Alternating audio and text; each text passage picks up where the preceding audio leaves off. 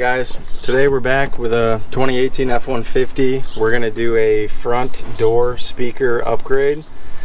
Um, so these are the 6x9 speakers and we're gonna take this off, we're gonna take another panel off and then in total it's gonna be seven 7 millimeter screws or bolts or whatever.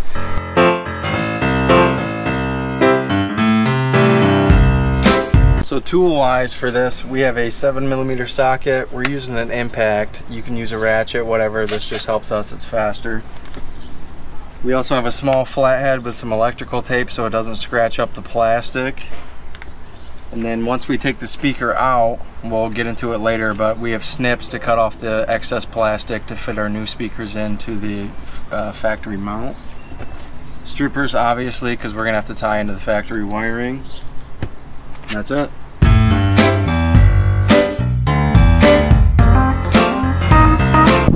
Alright, so the first panel we're going to want to take off is going to be this panel. Normally, if you are struggling with it, you can stick a screwdriver or like those plastic trim tools up in here. But I've kind of had pretty good success just grabbing it and kind of working it out and pulling it.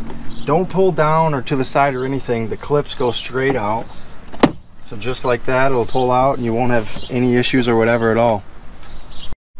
All right, for the next panel is gonna be this one, and this is a pain. Not as much as the next one we're gonna get, but it is just very well clipped in there. So there's a little indent, you'll see it when you look down there, just it's a flathead screwdriver size indent. Put it in there, and then what I found is pushing the screwdriver as far in as you can and then prying away works very well. I've seen other people where they try to grab the screwdriver and pull everything out. This thing pops off, they almost shank themselves. I just like prying away. It might do a little bit of damage to the plastic, but you're never ever gonna see it. It's literally hidden behind this.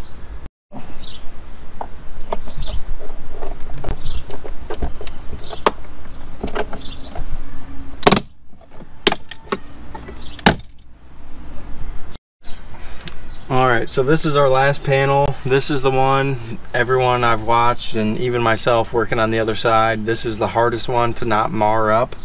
So I got some new Super 33 pretty good tape on here with a little bit of lip. I don't know if you guys are seeing that lip pretty good. So I'm gonna push it in and then try to turn and work it. The clips are on each end. So I've seen people start right in the middle and it's just bowing and it's not coming out you're want to pick one end. I usually pick the end kind of tucked away in here. So if you do accidentally scratch it, nobody's really to be able to see it. I'll start in there and then I'll start to pop it out get my fingers in as soon as I can and then pull it out.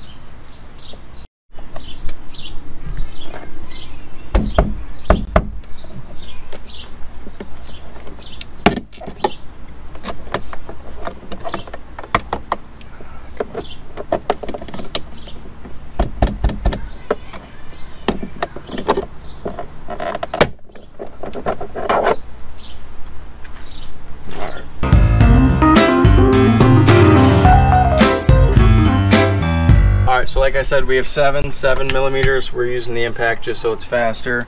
We have one up here behind the panel we pulled off. Nice and easy. We have two here right on the door handle. Also comes out nice and easy. Two more down here behind that panel that really sucked getting off. And then there's two on the bottom. I'll get under here and get them, but if you've never got down there before, it's hard because they're actually pretty angled. So just take a good look at the head of the bolt and then follow that same angle. It's not normal, it's not straight in. It's at a, a pretty good angle here. So where they at right here? You can see I got this like this rather than way down here. You're gonna wanna follow the angle of the bolt. Nice and easy. Second one's back here. Probably blocking it. It's back here by the cup holder. Nice and easy. So then for getting this panel off, there's a bunch of those push-on clips all around the outside. I found it's pretty easy starting at the top here, popping that first clip. I don't know if you heard that, but then you work your fingers around the outside, popping them down the outside, working down to the bottom. As soon as you're at the bottom here, just pull straight out towards you. They're all pushing straight, no angles, nothing. Pull straight out, work your way up. One here still. There we go. And then pull directly upwards with this. And then so once we get into here, way more simple than it looks. You see all these wires, you get kind of nervous. There's a push down right here for this. Push it down, pull it out, that easy. And then these two connections for your window switch and for your power locks, they all have a push down uh, quick disconnect. Super easy, just push on that tab. You'll see it. I'm sure my arm's blocking it, but they each have tabs push them down pull it out super easy and they don't fit into the opposite thing so you're not going to mess it up when you reinstall it so then for the actual speaker itself we'll get this out the way it's another just push it in and pull it out type tab four more seven millimeters. We'll take those out real quick.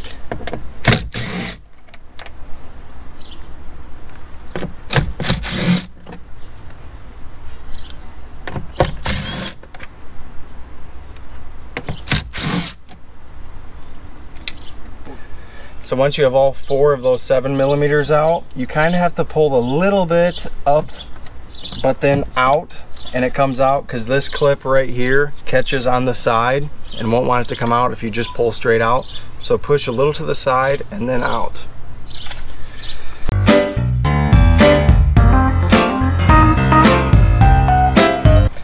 All right, so what we're gonna do is we're gonna use the stock Ford speaker bracket and then cut all this out and slide ours in and use it. They sell aftermarket ones. I think it's, you know, 65 to $85. That's not worth it for us. So we'll go through the process of showing you guys how to cut into this and install the new aftermarket ones. Alright, so step one, you're going to want to pull the slack out of these so you can get as much as you can to work with. That's going to help you. And then I pull them towards me and then you go up and to the side it takes a little bit of wiggling. You don't want to break them. They are pretty sensitive. But you should be able to go to the side like that. Just popped out. Take this one up to the side. Popped out. Perfect. And we're going to flip it over. And this is the kind of scary part. But if you're committing, you're committing. We're going to cut all the way around this and then pull the whole speaker cone out.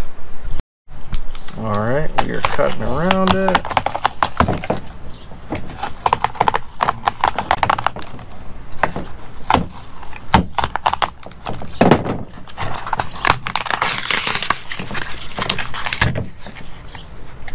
And then we're here where this is connected to the speaker coil. Snip these, give us as much length as you can. We'll trim it later, but it's better to be long than to be short. Cut these right about there. Continue tearing this out. And then we're gonna trim this all the way out, peel the foam too. Just give us as much room as we can, and then we'll go into cutting these plastic bracket supports. Mm -hmm. All right, so we got these snipped as long as we can to help us out. What we're gonna need to do is cut these brackets flush with this outside ring because that's all we need is just this ring and these wires. So I'm just gonna start snipping these as close as I can. And then it helps sometimes to flip it over and well, this one's the one that has that bracket that keeps it in. So that's gonna be the one we don't fully snip, perfect one to pick. But the other ones we're gonna snip down as flush as we can snip here. Get that whole section out because you don't need any of that. So we're going to snip the whole section out and then snip these arms going down all the way around except for this one of course the first one I picked. You want to leave that because that is what hooks into the side of the actual door and then seats this speaker. So this would be super easy with a Dremel to cut it off but we're going to use the snip show you guys you can do it without power tools so it, you just really want to get this outer ring completely clear. So we're gonna just snip everything flush along these lines and that in doing so, you'll be able to keep this because it's a it's in line with this outer ring. But yeah, just get this super nice and clean. You don't want anything touching against that speaker because if anything's sticking out, it might cut your cone. Obviously the vibrations back and forth, it'll be a big problem. So really spend some time getting this nice and smooth all the way around the ring. All right, so depending on what 6x9 speaker you have, they might have different mounting. So what I'm gonna do here is we're gonna have to cut this lip here out. So I'm just gonna go right where it starts, give it a little nip, right where it ends, give it a little nip, and I'll go around all the way around the outside and then I'll cut that section out in between so this can actually set flush in this bracket. Alright guys, so we have this cut out, it's all the way smooth around so we can seat that speaker in there really good. You can see I left the tabs, got this snipped all the way. So what we're going to do is we're going to put the foam that came with this speaker around right where, kind of right where the other one was that we tore out, just to keep a really good seal. I like to do this, it's not necessary, but it will definitely help some of the air that might escape out around the speaker. So we're going to screw this down to the bracket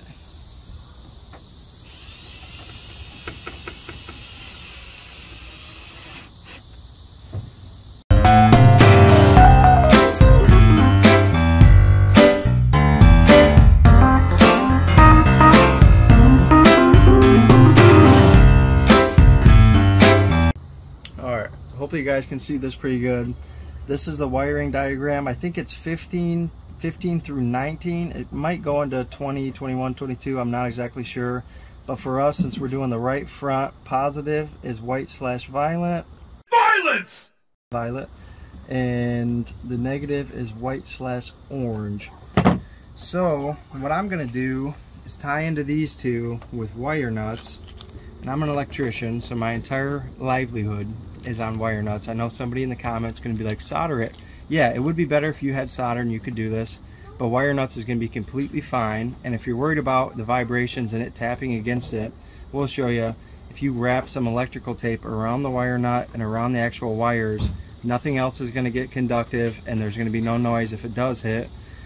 So if you look, let's see here, you're going to have to hold the harness that connects into here up to it and you'll see the colors.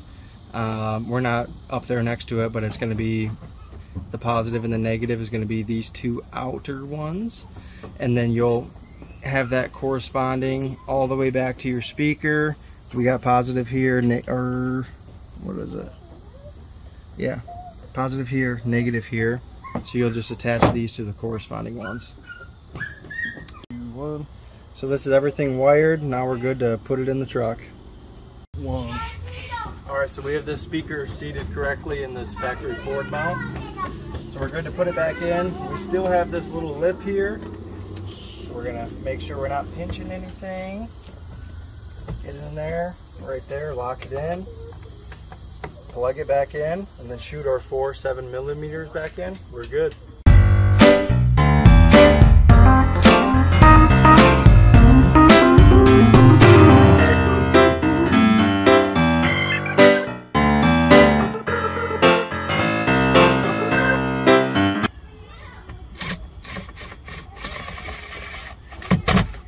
Two Ugga You got to be real careful with these. You don't want to strip them.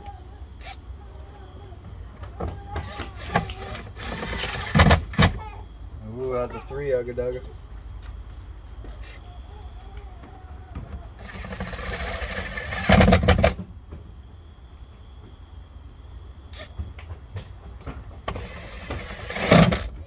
then another quick tip, test it before you put the door panel on. Anything could be messed up, anybody can make mistakes. Test it before you put everything back on because you don't want to take it all back off. You're going to be upset and it's not going to be worth your time. Alright, so we tested this, it's working. So we're going to put this door panel or this door card back on the truck. Alright, so we're putting this door card back on. We're going to put this in this little groove there locks back in. You hear the click super easy. And then we have our power window power locks. Might be pretty hard for you to see but it's really they don't fit in to the other one so you can't mess it up. Push it in until you hear the click. Got it there. Here's our window. Hear the click. So then when we're pushing this door card back on you push it up against the window or the door and then slide it down. You want to make sure you get that where it's supposed to go. Sometimes that catches and you're gonna be fighting against it the whole time. But see that? Just seated good against it. Push it down, and then you're gonna just gonna pop all your clips back in all the way around. Clips are all good. So now we're gonna put in our seven, seven millimeter screws, and we're good. Yeah guys, if you take your time, be careful with the plastic because it can get marred and scratched up pretty easy. Should be a pretty easy job, one to two beers. If you're like us, probably four to six beers. But uh, yeah, that's the six by nine upgrade for the front. If you guys like that, give us some comments, give us some likes. We'll do the six and a halfs in the rear and give you guys a video for that.